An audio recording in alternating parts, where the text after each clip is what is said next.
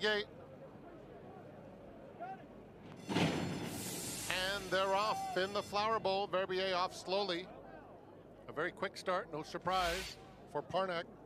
Idea Generation wants that lead and gets it. There goes the long shot Idea Generation to take over. And Parnac will wisely stay off of that. Then comes McCulloch in third, and Eternal Hope is fourth. Millie Girl fifth in the early going. Warlike Goddess is tugging a bit at Junior Alvarado. She'll have time to get going. And another two back to Verbier. They come into the stretch for the first time, and it's Idea Generation with a four-length lead. Parnac cruising along in second, two lengths in front of McCulloch. And inside of her comes Eternal Hope in the blue silks, hemmed in fourth. Warlike Goddess is just inside of Millie Girl, and another two to Verbier. A lap to go in the Flower Bowl. Idea Generation has built up a six-length lead. Parnac and Dylan Davis still comfortable in second with McCulloch third, Eternal Hope along the inside. The first half mile went in 51 and 4 fifths seconds.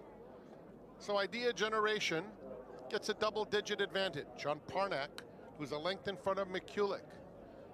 Then comes Eternal Hope and Millie Girl, Warlike Goddess under a firm hold at the back of the field with Verbier.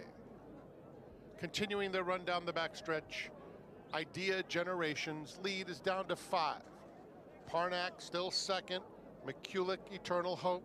Hasn't been any change in the running order. In behind them, Millie Girl, Warlike Goddess will need to find some breathing room soon. Six lengths off them. Verbier is at the back. Around the far turn. Idea Generation, three-length lead. Parnac in second. McCulloch is starting to rev up now. Warlike Goddess gets out of where she was. She's right behind Eternal Hope as they come to the quarter pole. It's still Idea Generation with McCulloch in hot pursuit. Warlike Goddess swings to the far outside.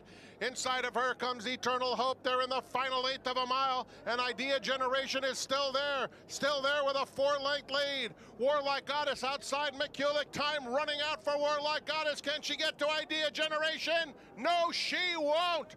Idea Generation and Florent Geroux all the way in the Flower Bowl. Warlike Goddess second in another Flower Bowl.